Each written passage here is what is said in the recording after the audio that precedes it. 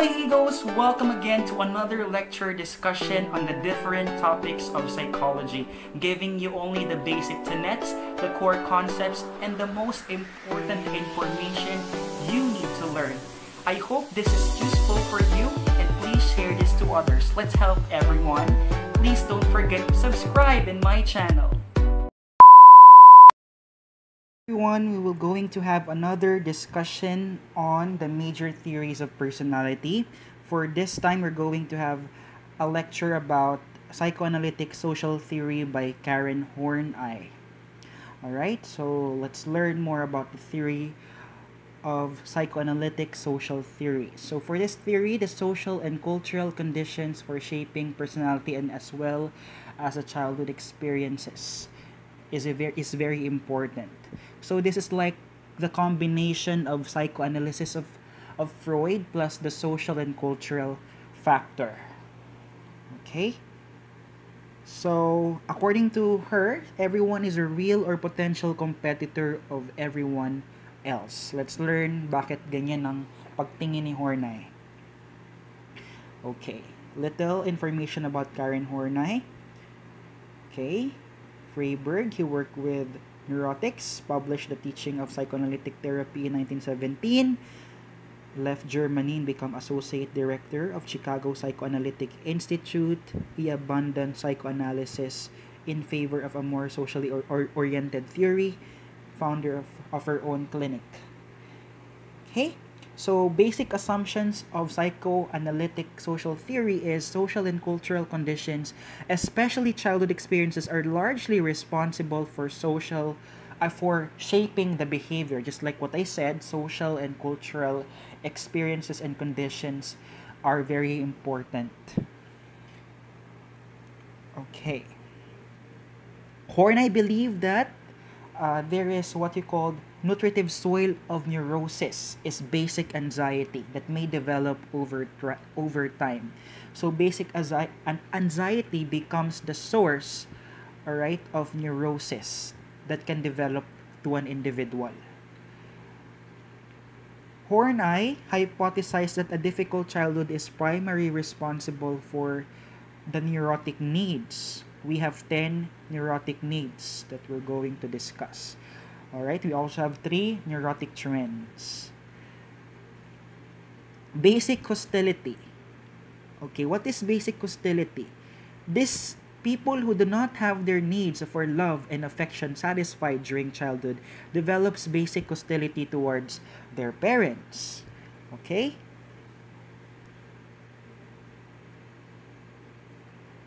Ayun. The first reaction to parental indifference by a child is anger. As a consequence, they suffer from basic anxiety. So kahit daw bata ka pa, you can experience basic anxiety even if you're still child. Okay, so basic hostility happens if you know, if hindi na satisfy yung need mo. Okay?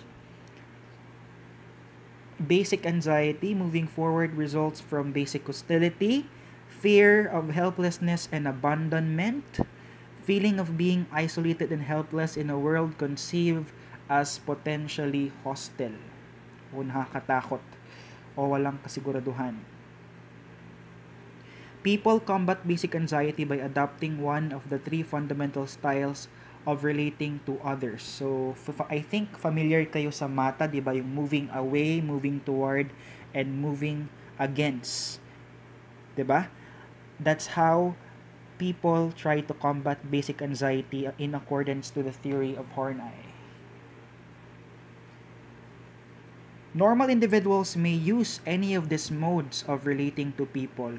So, normal in- individuals they, they they can try to shift from moving away, mo- moving towards, or moving against. But for those who have who are experiencing neurosis, they just rely rely on one trend or or style of relating to others.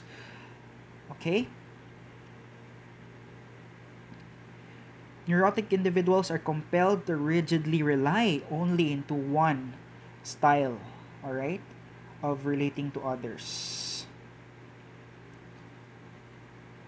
For her, he has protective devices. So, si Freud, meron siyang defense mechanism. Si Adler, safeguarding tendencies. Si Horney, meron siyang protective devices. So, this is the defenses against basic anxiety of real or imagined hostility. Okay? So, first is power, prestige, or possession. Yung pos, familiar siguro kayo sa pos, So, this is to dominate, to protect against humiliation, buffer against destitution and poverty. Alright. Affection naman may try to purchase love with self-effacing compliance or material goods or sexual favors. Hmm. Okay.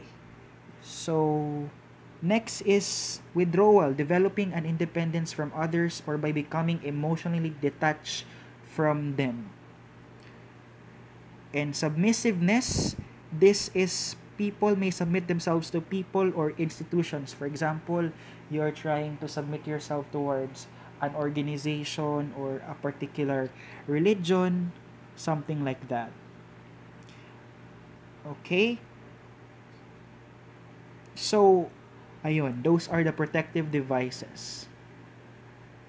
Moving to the compulsive drives, neurotic people have the same problem affecting normal people except that they experience it on a greater degree. So, normal lang daw na magkaroon ng basic anxiety. Okay? So, pero for those people who have neurosis, they suffer it most deeply or mas malala. Normal people use a variety of defensive maneuvers in a useful way, while neurotic people compulsively repeat the same strategy in an unproductive manner. So, the three fundamental styles of relating to others. So, we can compare normal and neurotic defenses for moving toward people. They have friendly, loving personality. Okay?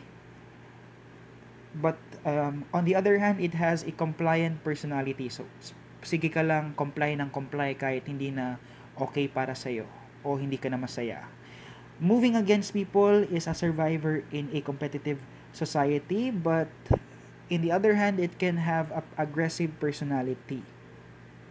So, yun, yung madalas ka ng mang-away ng tao, madalas ka ng nagagalit, ganyan, you're becoming violent and aggressive. Moving away from people, you have an autonomous serene personality. So, on the other hand, you have a detached personality. Or hindi ka na sumasama or you're trying to not join a particular group. Okay? Those are the fundamental styles of relating to others. Okay, so we have 10 categories of different neur- neurotic needs. So I'm going to cut to simply categorize them into three. Okay, into three uh, basic trends, neurotic trends.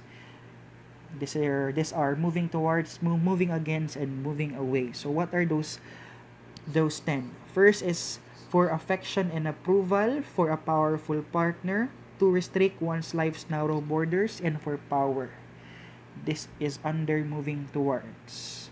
For moving against, we have to exploit others for social recognition or prestige, for personal admiration, and for ambition. That is for moving against. And for the last one, moving away, this is for self sufficiency and, and independence, for perfection and prestige. Okay. So this is the summary on the book of Feist. You can see here the different neurotic trends.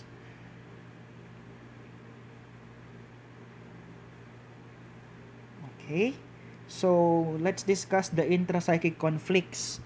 So these are the conflicts we have in our mind, okay, originated from the interpersonal experiences we have. So it can become part of a person's belief system that they develop a life of their own, an existence separate from the interpersonal conflicts that gave them life.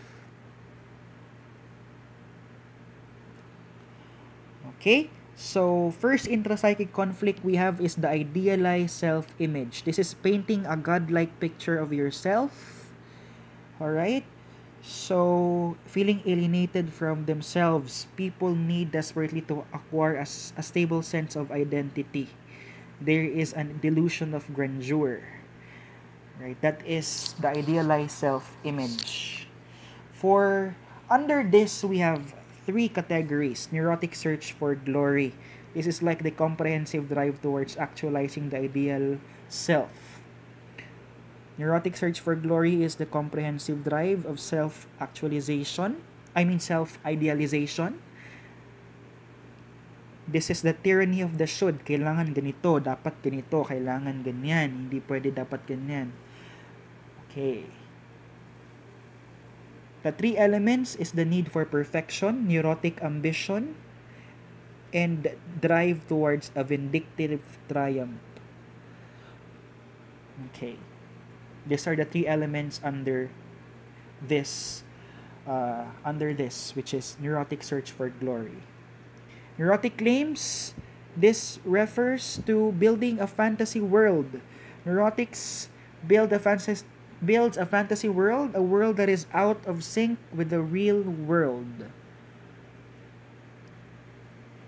They proclaim that they are special and therefore entitled to be treated in accordance to their idealized self-image.